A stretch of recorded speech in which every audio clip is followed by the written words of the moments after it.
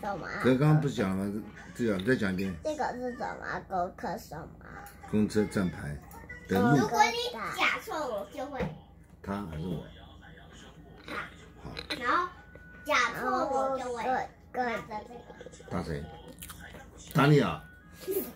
反正自己好好讲。这个里是打毛线个键盘，然后这也是马蜂蜜嘎嘎个键，然后这这是什么啊？这是你们家的那个，然后这个是佛像，讲完了。